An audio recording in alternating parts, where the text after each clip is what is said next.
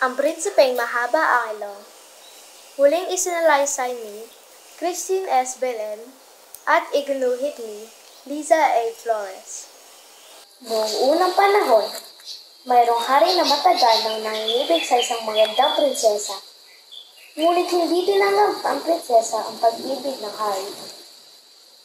Mahal na prinsesa, ano pa ba ang nais mo upang mapatunayan kung tunay ang pag-ibig ko sa iyo? Naluluhang sabi ng hari. Mabuti kang tao, ngunit wala pa ba sa isip ang pag-aasawa? Ang laging sagot sa kanya ng prinsesa.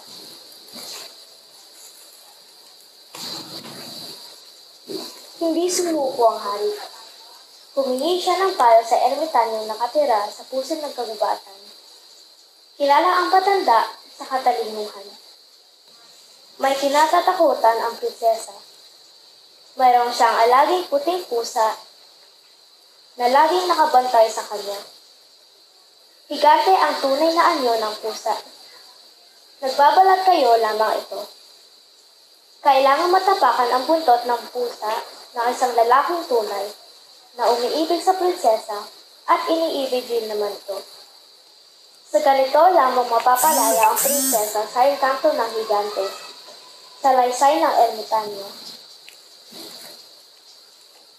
Sinunod ng hari ang payo ng ermitanyo. Nang muli siyang dumalaw sa prinsesa, tinapakan niya ang buntot tapos ang puti.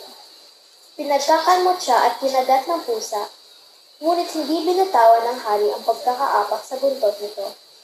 Pagkawala ninyo ang aking pusa! Sigaw ng prinsesang nagmamakaawa.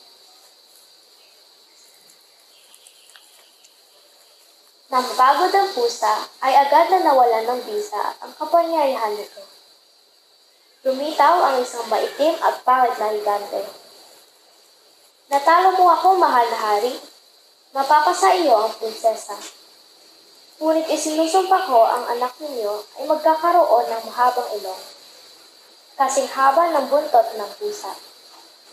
Halakhak ng higante sa naglaho.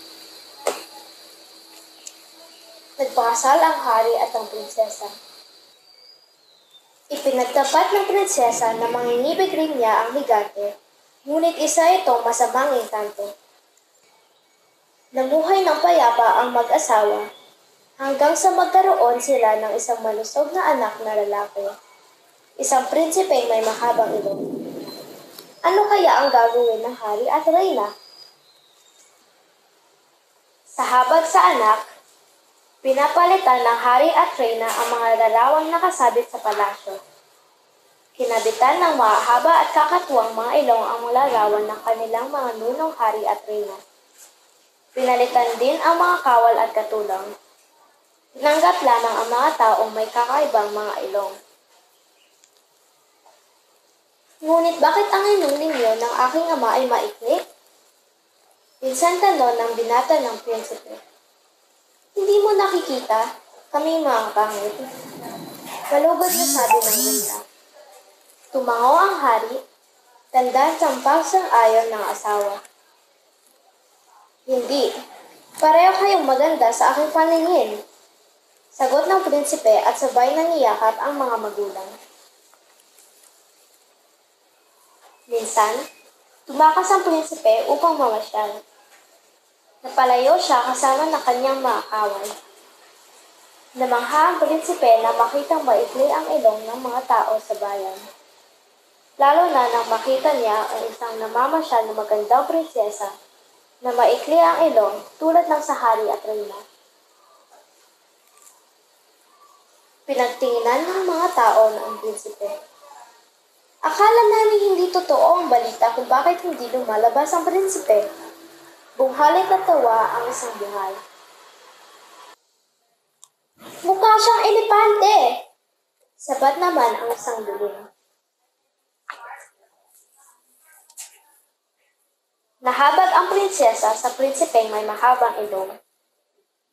Pagmasdan na ninyo ang tsura nyo, wala sa panlabas na anyo ang buti ng isang tao. Sigaw ng prinsesa sa mga taong nagtatawa. Sinamahan ng prinsesa ang prinsipe sa pamamagal. Ikinatuwa ito ng prinsipe sapagkat nagkaroon siya ng bagong kaibigan. Kinabukasan, isinama ng prinsipe ang hari at reyna sa kalapit ng kaharian upang magpasalamat sa mabuting prinsesa. Ngayon lamang sila lalabas na magkakasama. Nagtawanan ang mga tao sa palasyo ng prinsesa na makita ang prinsipe may mahabang ilong. Sa awa ng prinsesa, hinipo niya ang mahabang ilong ng prinsipe. Nagulat ang mga tao na malaglag ang mahabang ilong ng prinsipe. Napalitan ito ng ilong ng tulad sa kanyang mga magulang.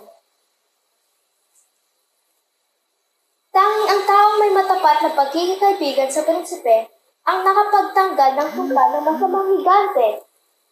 Naiiyak ng tuwang sabi ng reyna. Nagkaroon ng pista sa harian at nagsaya ang lahat